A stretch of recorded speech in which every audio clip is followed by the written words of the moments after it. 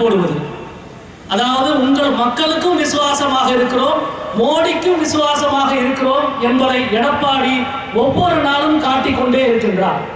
அநேகமாக மதுரையிலே இருக்கிற பாதிக்கும் மேற்பட்ட காவல் வன்முறையாளர்கள் நாங்களா வன்முறையாளர்கள்? நாங்கள் அதுதான் நாடாளுமன்றத்தில் கேட்டோம் போராடுகிறவர்களை துப்பாக்கியால் சுடுவேன் என்று சொன்ன மத்திய இணையமைச்சர் நீங்கள் பேசிக் கொண்டிருக்கும் பொழுது பல தலைவர்கள் மீது வழக்கு. எங்கள் மீதெல்லாம் வளைச்சு வளைச்சு வழக்கு. என்ன வழக்கு? பொது சொத்துக்கு குந்தகம் விளைவித்ததாக வழக்கு.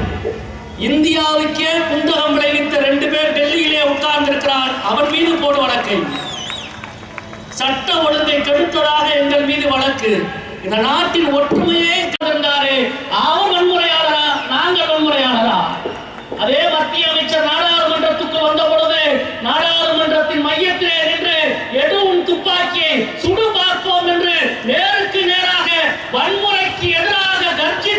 மரியாதைக்குரிய தொடர் சீதாராம் அவர்களே. மேடையில் அமர்ந்திருக்கிற மதிப்புமிக்க தலைவர்களே அன்பிற்கினிய தொடர்களே இந்த மண்ணை மதவெறிக்கு எதிராக பக்குவப்படுத்தி பண்படுத்தி வைத்திருக்கிறார்கள். இந்தியாவுக்கு சொல்கிறோம் மனிதனாக வாழ அனைத்து தகுதிகளோடும் எங்களை எங்கள் முன்னோர் ஆகிய மூன்றும் ஒன்றோடு ஒன்று தொடர்புடைய மூன்று முனை கொண்ட திரிசூலம் போன்றது ஆகும்.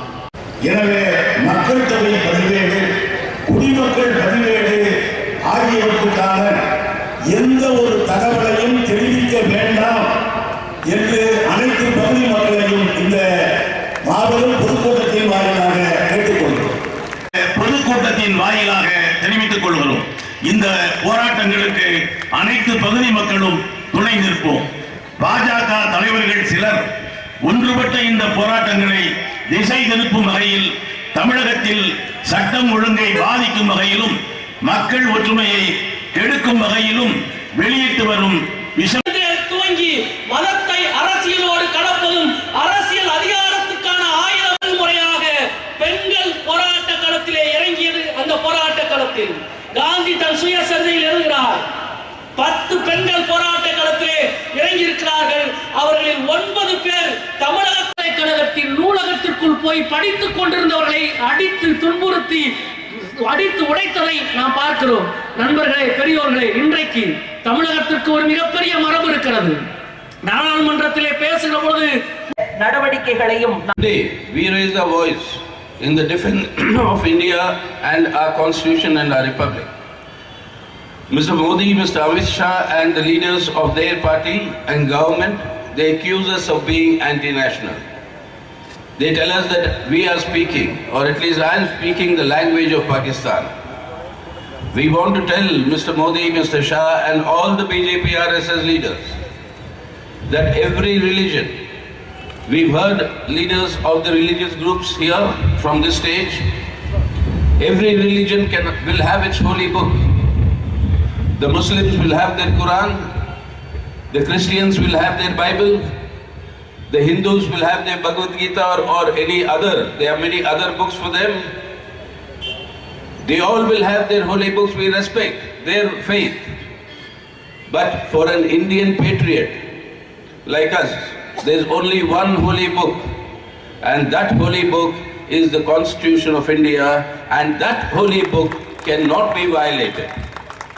If anybody violates the Constitution of India, we will oppose that. Opposing the violators of Indian Constitution is not anti-national, Mr. Modi, Mr. Amit Shah. It is the expression of supreme patriotism and we are patriots in India today who are fighting to defend our Constitution. They charge us saying that only the Muslim community is opposing the CAA. I like Mr. Amit Shah to come here to Madurai and see this crowd and find out how many Muslims are here, how many non-Muslims are here. Today this is a fight not of Hindus and Muslims. This is a fight of every Indian against those who want to destroy our constitution. Don't divide us on the name of religion. When I say this, some of the BJP leaders say, your name is Sitaram. Why are you not supporting the Hindus but supporting the Muslims? I said I'll support the Hindus, the Muslims, the Christians, the atheists, everybody. Because I support human beings. I do not support which religion they belong to. And that is why the objection to CAA. What is the objection? For the first time, it links the issue of citizenship with the religion of the person, concerned. Today, it may be targeting the Muslims. Tomorrow, it can target the Christians. Day after tomorrow, it can target the Dalits within the Hindus. It can target the Adivasis. Once you bring in a discrimination on the basis of any particular criteria, then citizenship is not universal. That is against the fundamental tenets of our constitution and that is why the opposition. So this opposition is of Indian patriots against those who want to destroy this constitution and not of any one single religious community. Religion of a person concerned with the issue of citizenship. And that is why the opposition to the CAA. They say no Muslim of India will be thrown out because of CAA. The issue is not of who will be thrown out or not. The issue was on what basis are you deciding who is an Indian citizen.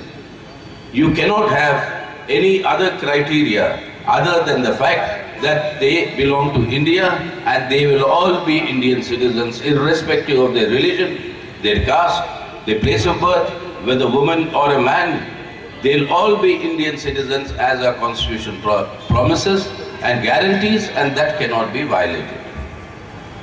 Let me explain to you the chronology, as Mr. Amit Shah was trying to explain to all of us, the chronology of how it will affect not only the Indian Muslims, but it will affect the most poor and the marginal sections of the Indian people, particularly the Dalits, the Adivasis and women.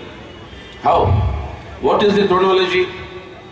They are now saying that the NPR, the National Population Register, will start from the 1st of April to be enumerated and an enumerator will come to your house and ask you questions for which you only have to answer, do not have to show any document. On the basis of your answers, the government will appoint a registrar who will determine the, whether the answers you have given are genuine or they are doubtful. Every form that will be formed, that will be marked as doubtful, that is D category. That doubtful category, that name will not figure in the NRC. And if you want your name, if you have been dropped of the NRC because you have been characterized as doubtful character or doubtful citizenship, then you will have to produce the documents to prove that you are an Indian citizen and that is where the documents production will have to come. That is why NPR is the foundation for the NRC. When Modi Shah today say there is no question of NRC, they, they never spoke of NRC since Modi became the Prime Minister, which is also a lie. I was in Parliament. When Modi government answered within four months of becoming the Prime Minister that the government is bringing the NRC, the first stage of which will be the NPR.